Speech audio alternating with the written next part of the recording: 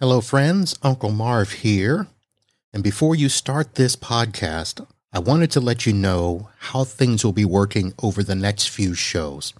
Normally, I do a weekly live show, but this particular set of shows is all going to be based around my time at the ASCII MSP Success Summit that was held this year in Miami, Florida, which is just a few minutes from my home usually when I go to ASCII, I will string together many different podcast uh, interviews and make them either one or two big shows.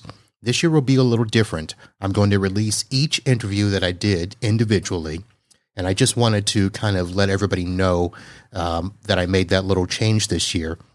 I first also want to thank ASCII that uh, has been a very good friend of the show and has allowed me to, while I'm attending the conference, be able to get access to the vendors, CEOs, people that I normally would not have access to, and get them on the show for a few minutes. And sometimes we talk business, sometimes we talk other topics and uh, share anecdotes and stories of home and sports and stuff like that. But I do want to say thank you to ASCII for allowing that to happen. This year's show, as I mentioned, was in Miami. It was held August 23rd and 24th. So many of the upcoming episodes that you will hear will be from there. These are live on site, so they're not in a studio. So some of the episodes are going to sound a little airy because they were held out in an open area near registration where people are walking by and music is in the background and stuff like that. I've tried to clean up the shows as best I can, but just be aware that that is going to be um, a little bit different in the show, kind of like uh, a Super Bowl row of radio vendors when you go to um, see those events. Uh, this year, I did, uh, I think, nine interviews, and uh, I think they're all pretty good. If you are not a member of ASCII, you don't have to be to go to these shows. And for 2022, there are two more shows. Uh, one of them is going to be September 28th and 29th for New York and New Jersey. The last one of the year is going to be October 6th and 7th in Dallas, Texas. If you are near those areas and would like to attend, head to ASCIIevents.com. The link will be in the show notes, and I encourage you uh, to go to that event if you are close by. If you're not close by, uh, put this on your calendar to attend one next year. These are great events. You get much more closer access to vendors and CEOs, and uh, you really get to, you know, rub shoulders with people, have deeper conversations. I actually met several other MSPs and IT service providers in the area. We're going to be doing some individual and group meetups uh, coming up in the future and should be an ongoing thing. So those are the shows. Uh, today's show is President and CEO Alan Weinberger. As per usual, I always start off the interviews with him, and he shares what's happened with ASCII in the last year and what's going to be coming up. There's a couple of great programs that I think you all are going to love. And with that, let's get on to the show.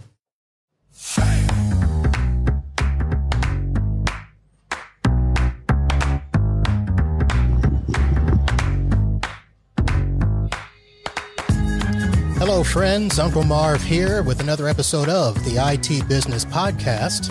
And this is a very special edition as we are live from ASCII Success. This time we are in Miami, Florida at the Marriott Marquis. And I, of course, am joined, as per usual, the first podcast of the event, Alan Weinberger of ASCII. Alan, how are you? Hello, I'm good, but the earphones, I'm not listening. I'm not hearing from the earphones. But everything's good here. Everything is good. So now it's good. There we go. All right. So, Alan, we are here. We are in a fantastic building with lovely weather in Miami. So, uh, how are things? Well, uh, it's great to be, Marvin, back with you. Done this before, and uh, you're a stalwart of this industry, and everybody should listen to these podcasts because Marvin is a fountain of knowledge, expertise, and everything else. And this is a hell of a hotel, that's for sure. Yep. Well, a lot of my knowledge comes from ASCII, which I've been a member now six years. and I want to thank you for allowing me to stay a member. But let's go ahead. Uh, here we are in 2022. Last time we were in Orlando for 2021. So let's start off with what things have changed in ASCII over the last year. Well, firstly, uh, as far as numbers go, believe it or not, we've doubled our membership growth year over year. Um, and uh, I think that's part of the reason for our model in that uh, the MSPs want to be together, talk together, and connect to like minded members. Uh, so we're going to double our membership growth this year over 2021. Um, and uh, that's sort of a good thing. Now, I don't know if you can tell me, but is that growth due to uh, more members entering the MSP community, more techs in the industry, or are people just now realizing ASCII's a great group and they should join? I think it's all the above. I think, firstly, our marketing, Alicia Vetta, who's up in Ottawa, who's a very experienced lady for many years, uh, worked at Level Platforms before. She's doing a great job. So the word's out more, and that's, you know, part of fact of any business. You got to market. That's helping. Uh, I think, uh, well, the service sector, people are, you know, doing the service side of the industry less and less typical hardware. So the margins are higher, the profitability is higher. And I, the other thing is, we're getting some very large members joining us for the first time in a while. That plus very rural members. We have members from towns of 10,000 people or less in places you've never heard of joining us. So that also uh, adds to the fact of I don't think anybody really knows how many MSPs are out there or how many people in the channel. CompTIA does surveys every year and claims there are about a half a million total, including one person shops, that will be doing some type of a service support of IT. But maybe the other conventional thing is about 70,000 MSPs in the United States. Well, whatever the numbers are, um, we're getting a diverse uh, universe joining us this last year. Interesting. So I've noticed when I get my newsletters every Friday, uh, there are more and more vendor programs becoming available to us, and some of them new vendors, some of them veteran vendors. Uh, that has been a huge undertaking. Is that, you know, your ASCII staff going out and asking for more, or are vendors now coming back to ASCII saying, "Hey, you guys have great membership. Can we access them?" Well, you know, Jerry Koutavas and uh, Jesse Devine work on the membership side.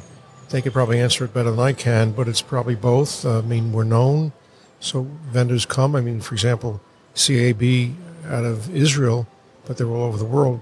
They fly in from Israel to each of these events, so the vendors see the value. They coming in from all over the world to come to these events. It's a long flight just to spend two hours to meet with. Two, I'm sorry, two days to meet with MSPs. Um, so they, they, they, you know, this is the customer, and a lot of them sell through the channel only. So you got to be with your customers, and it's also the fact of, you know, the virtual meetings just aren't as real as the face-to-face meetings, and people, you know, the customers want to meet the vendors, and the vendors want to meet customers. The only way to do is face-to-face. As much technology is out there, and everybody's using technology to make their living, they still want to see who they're paying their money from and who they're getting the sales from.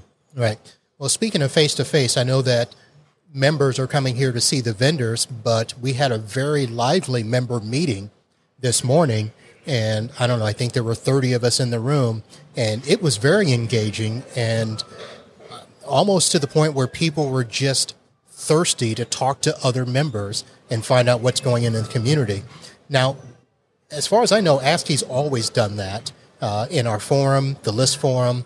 Uh, but to have these events where members can engage with each other, uh, to me, that seems invaluable. Uh, how did you uh, take that this morning? Well, that's a great question. I'll, I'll put it at a 50,000 foot level and then come down to the level we're at, which is on terra firma, it's uh, the Earth. The 50,000 foot level, the, the augmented reality, virtual reality, Meta changed its name from Facebook. How much are, we're not going to need face to face events because everything could be virtual someplace. Uh, it looks like it's real, but it's not real. is that going to change the way civilization makes business?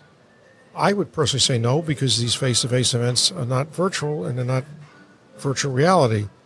So that's just an interesting thing how the world's going to go in the next five or ten years if everything's going to be so virtual now in an augmented way. Um, no one knows, but I'd say no because I think the humans still want to meet with humans. Uh, so that's the example of an ASCII meeting. You're meeting with people, um, you know them, and you really feel for them because we're the, the, the humanity of us all is we want to be with other people. And then we know the person when we're with somebody. You hug somebody, you shake a hand, and that's what they all do at these events. And our meeting is the same way. So it's interesting, especially this time with a company like Facebook change its name to Meta because they think the world's going to change according to the way they want it to change. Interesting concept. Well, I, I anyway. All right. I want to answer that. so, a new uh, program also in ASCII is Spark, a program that you guys just recently started. Um, a peer-to-peer group, but there's a little bit of a twist uh, on the traditional peer group. Can you describe that for for yeah. us? That actually argues everything against what I just said about the need of having virtual anything. Uh, so, you know, there's always on the one hand and on the other hand. Right. Well, on the other hand, we have Spark. and Spark is a virtual event where 10 members that are non competitive in different geographies but are similar in size can help together, learn together, and the cliche all boats rise together, where it's free flowing and a vendor will spend some time in the beginning to introduce its new technology to the members. But most of it's, it's just a repartee back and forth by members learning from each other about whatever they want to talk about. It's sort of free flowing, uh, whether there's one session might be only a certain technology. It's not a gripe session. It's not going to just gripe about vendors, but it's, uh, a learning session. But it's self learning, peer to peer learning, no cost if you're a member, it's free.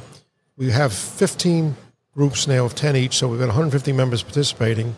And the staff just is a facilitator. They just organize it, you know, but it's not, uh, there's no lectures. It's not like going to school and lecturing. And here's another thing in a lot of ways, the best way of learning is by peers, because what you learned in school five or 10 years ago is no connection to what's going on day to day. But you can learn from your peers day to day because they're selling day to day stuff. Right. So it's a good concept. Yeah. All right. Well, that's great. Um, I want to make sure that we get in this one last bit of uh, information. When we last spoke last year, you had just put out your book, The Doctor's yes. In. Yes. Uh, how has that been over the last year? Well, I'm not in the business of making money on books. I'm not doing road shows. I'm not doing anything else. But our members have picked it up, and it's a good, quick read for end users to see how important the channel is, what ASCII's role in the channel is, and uh, the title of the book is Doctors In because it analogizes how the medical world should do preemptive care, how people live a, you know, prevent disease by living a good lifestyle. And the same thing is in the IT industry, prevent attacks before they happen by having a good managed service provider keep your technology up to speed and prevent bad things are happening before they happen. So the concept of the book is to show the parallel between the medical industry and the IT industry. There's a new industry, at least the industry as it is developed since Microsoft came out with the deal with IBM on the PC side. It's been around before. The mainframes, we're not talking about mainframes, we're talking about the channel. And the channel is relatively new for the universe, and but the medical industry is not. So we're going to hopefully replicate what medical industry is doing. But you got to go to your local doctor for care for your, for your body, you got to go to your local MSP for care to your IT infrastructure. Okay.